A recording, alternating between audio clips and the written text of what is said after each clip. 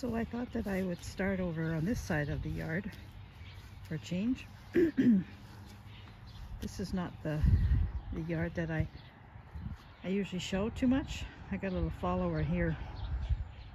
He's been walking just a little bit be before me all the way down.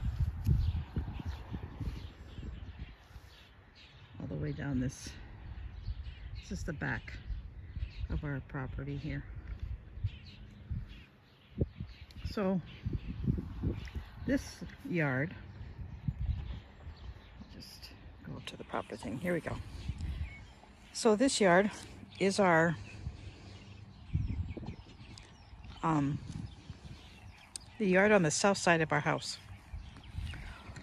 I don't really show this very often because there's not really a whole lot to show, but this is the south facing yard.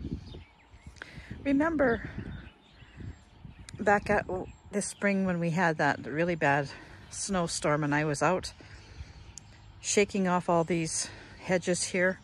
Well, this here is a Saskatoon tree and it was completely on the ground, frozen to the ground from, we had a storm of rain and snow and sleet and snow and it froze. And I came and I shook it out, but it never really did stand back up again. It's still leaning an awful lot it bloomed and it's it's setting. It's it's going to have saskatoons on it. It's setting fruit but it's really leaning over. And I tried to stake it up on this but it's it's not having it. I don't know what I'm gonna do with it. I'm afraid I might have to cut it back but I'm gonna let it do its fruit thing. I actually never get these Saskatoons. The birds eat them all before I, I get any. So, and a beautiful lilac bush. I've had some of these in the house all week. They're beautiful and they smell so gorgeous. So, yeah, this is the side of the south side. Now, I have a couple of pieces of rhubarb here, here and here. I'm going to cut that. This is where all the rhubarb used to be, and when we moved here, this was a whole rhubarb bed, and I thought I had moved it all, but obviously I didn't get two pieces. So I've got rhubarb here, and I've got rhubarb on the other side of the house. So I've been working here. We used to have a plum tree here, and it was diseased, so we took it down, and Last year I just threw a bunch of seeds in here and a lot of them were perennial dianthus. But I have bought um, a giant fleece flower and I planted it here. Right here. And I hope it's going to do something. Anyway, it's supposed to get eight feet tall if it survives and it should cover this whole area. So I'm taking the dianthus out and moving them to other parts of the, the yard. And I just made this new bed here. Some of the dianthus I've moved here. Everything, see this is, nothing much wants to grow here because it's so hot. You can see how hot it is. And I would usually water in the morning, but we're expecting storms soon. Starting to cloud up already. Oh, and I didn't show you what else I planted. I've planted a few trees too. This is a new tree that I just planted. It's um, paper birch. Very small. I hope it survives.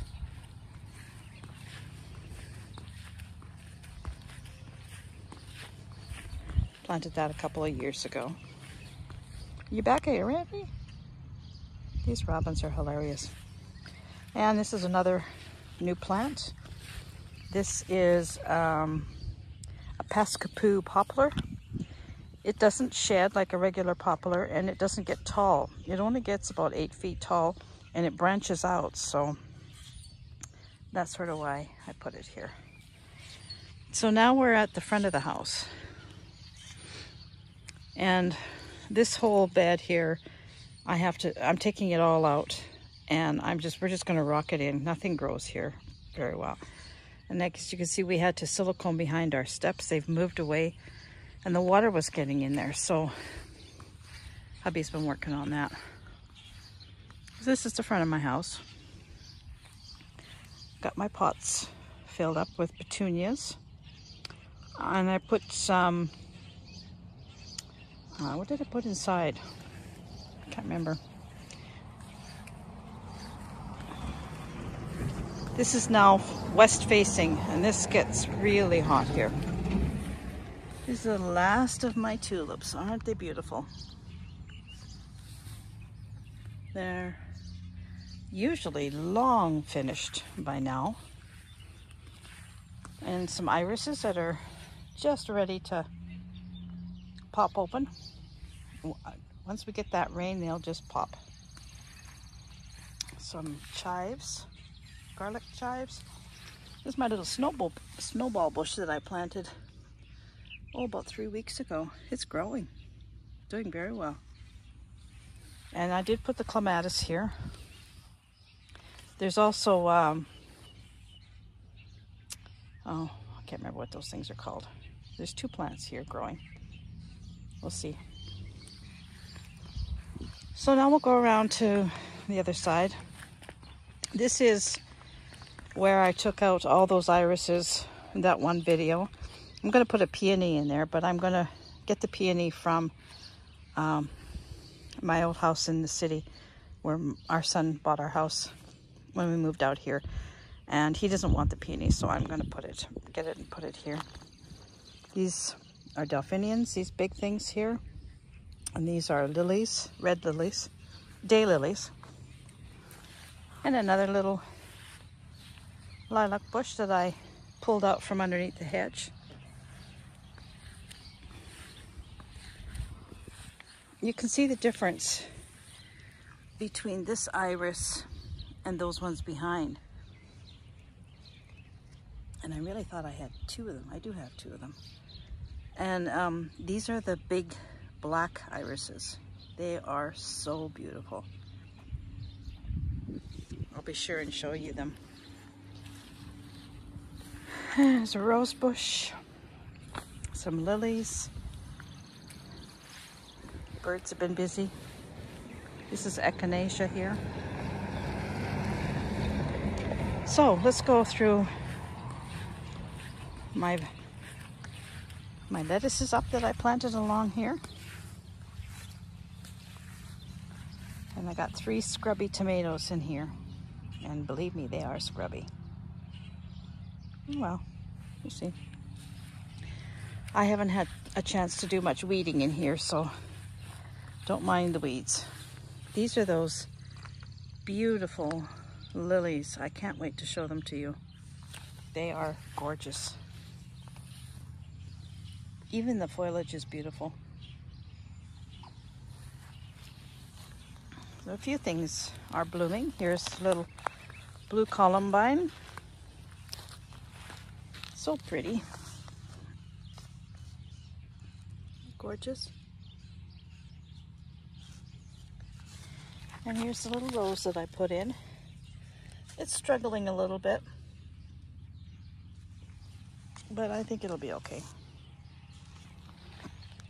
Another tulip.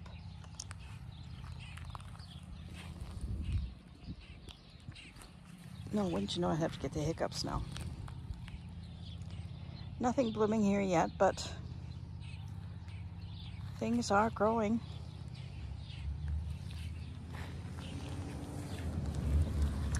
These little Johnny jump ups, they're everywhere. Let's just seed them.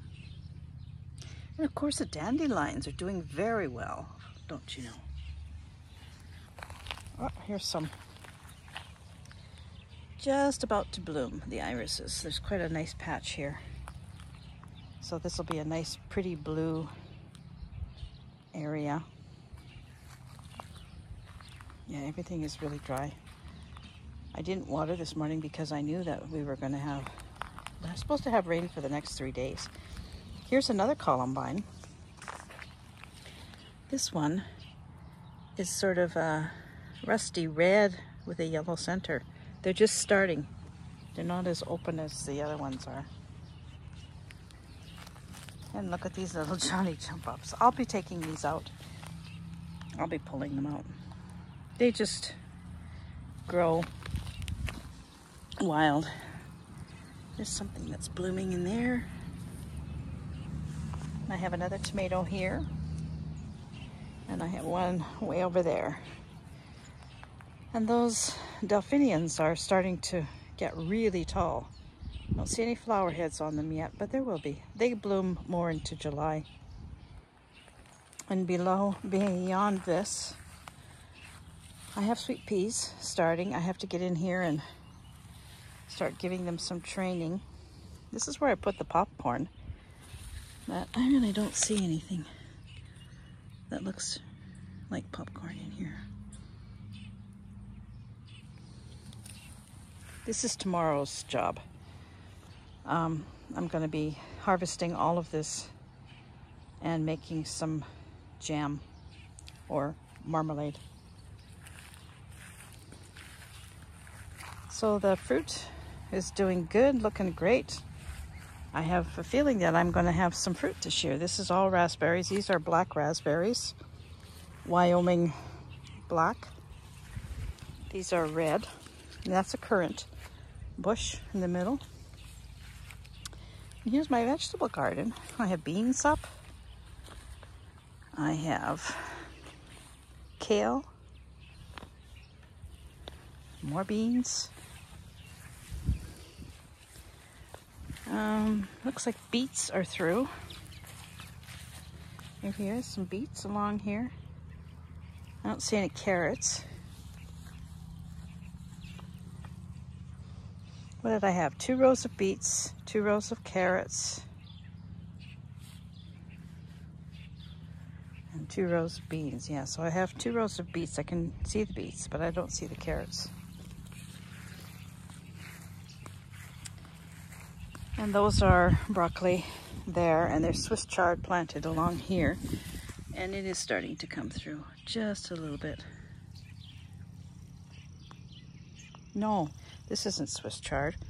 I think this is um, rutabaga in here. Swiss chard is over there. Look at these dandelions. I have another tomato here.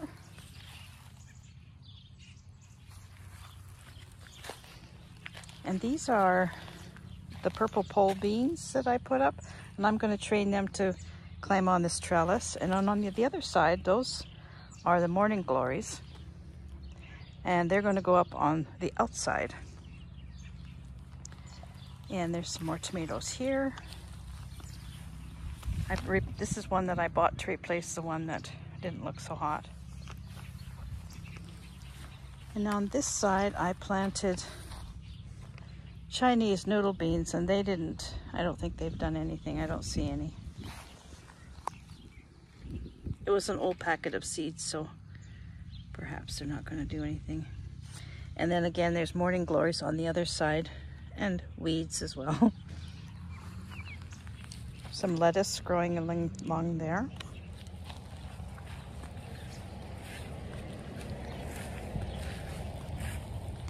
Hey, Robin. So, um, one video, this was just coming through the ground and I said it was, um, what did I say it was? A cucumber? It's a sunflower, I think. But I do have a cucumber there and I have a couple here. So, those beans are still coming through. Those are really doing good over there. So I transplanted this this is um, mock orange. That was in that bed at the other side that I'm emptying out. That was in there, so I put this here. And there's a new tree here. This is another one of those Paskapoo poplars. And it looks like it's doing pretty good. And then over there, planted another um, paper birch over there. Strawberry bed is pathetic, isn't it? I need to get some straw and or mulch or something for this bed. It's just, it's full of weeds. I don't really think it's very good soil either. And here's my tea bed. This is mint. This is um, bee balm here in the middle. This is a peppermint and that is a chocolate mint. Most of my mint didn't come back. Very sporadic because this was just full of mint before. And of course I have my two or three, ouch, mosquito just bit me, um, tulips that shouldn't be here, but I didn't have the heart to pull them out. So my husband's been trimming the hedge. This is a major job for him. It takes so long, but it does look good when it's done. So you can see how far he's taking it down. Maybe I can go over here to see better. Yeah, he's bringing it down at least two feet or so. This part's done. That part's yet to do on all the way around. And he's also moving them in, taking off the sides and top on both sides of the hedge. So that's what's going on in my yard. And I'm I'm only going to be having a couple more weeks to do this. Come on back, bird. Um, I have an appointment for a consult with the surgeon oncologist who will be doing my surgery and that's on July the 4th. So after that, the surgery will be after that. So I'm just trying to get ahead of things in the yard on days that I can. But like I said, uh, now we're supposed to have, we're supposed to have three or four days of rain. Today, this afternoon and tonight is supposed to be thunderstorms. But um, I think we could use the rain. These robins just follow me around all day long. So I'm going to go in the house now and I'm going to do some stitching.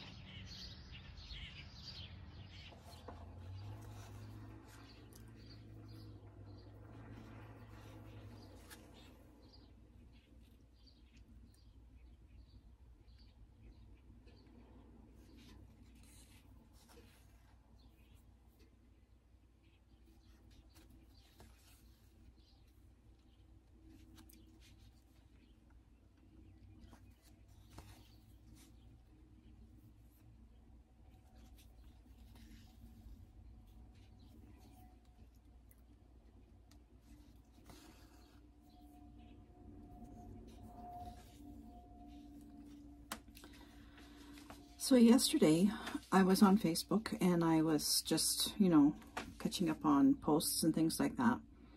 And I come across an ad, an advertisement from The Gift of Stitchery, which is an online cross-stitch magazine.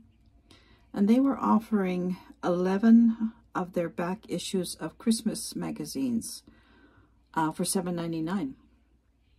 So um, I decided to jump for it. I'm always looking for Christmas things for smalls, for making ornaments to give on, to put on gifts and things like that. I always like to make a, an ornament to go with it. So this is what I'm doing right now. I'm taking a break from my red work and I'm just working on this little one here. This is from one of the issues. This is, he's going to have skates on. This um, reindeer. He's going to have skates, and then he'll have things hanging from his his antlers, and then a fluffy tassel on his um, scarf, and then a, a, big smile also. It, it's a very fast stitch. I've I started this this morning, and um, it's been a real fast, cute little project. And I'll be giving this to a little boy for his Christmas. And I'll put the year on it because when I give it to children, um, if I make an ornament such as this for a child, I like to put the year on. And if I give them one every year, you know, they can see back when they were small. Once they're older, they can look back when they're small and see, oh yeah, I got that in 2020. Wow, that was a long time ago. so anyway, this is one of the ones that I'm doing. And then I printed off another one. Unfortunately, I don't have a, um, a picture of it, but it's a baby's first Christmas. And I have two, uh, we have two newborn babies coming up in October in our family. Um, nieces, and, or actually one is a niece having, great niece having a baby, and one is a great nephew. So I'm going to make two of those too. So I'll put a link to that um, magazine um, in the description below. But it's um, The Gift of Stitchery. And like I said, it is an online cross-stitch magazine. And they have all kinds of things. It's not just all Christmas stuff, but what they're offering is uh, 11 issues, back issues of Christmas magazines for $7.99, which, and that's $7.99 US, but that's still a good deal because these um, cross-stitch magazines tend to run, they, they, can be pretty expensive. So that's what I'm, that's what I'm working on today. I have been, I don't know if I can get it out of here without upsetting the apple cart. I've got it in here. Yeah, I can. I have been stitching on my red work piece here. And really, I am, um, I'm not all that far from finishing. This is, this is right at the edge here. There's a little bit of a border, maybe um, 10, 10 stitches of border around, and that's it. The bottom, there's a little bit more to go, but uh, yeah, I'm getting there. I want to get this finished. I have a frame for it, so I want to get it finished and get it up on the wall. I love this piece. It's been such a great stitch. And a lot of it is just like, um, I don't know if you can see it, if I can get it up close enough for you to see it. But a lot of it is just a single running stitch. There's a lot of that in here. This whole tree now is all going to be this kind of thing. And that's all done just with one, one thread. So it's on Aida, 14 count Aida. I wished it had been on something else, but it's all right. It was a kit. I bought this um, quite a while ago. And I don't know if I have to tell you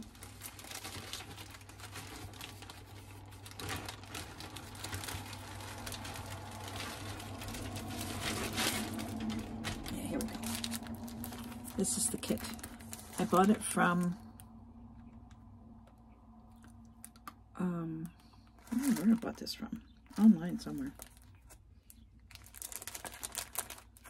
So that's what it's to look like. That's done. I should take it out of there. Okay. It's a Russian sampler. Everything comes with it.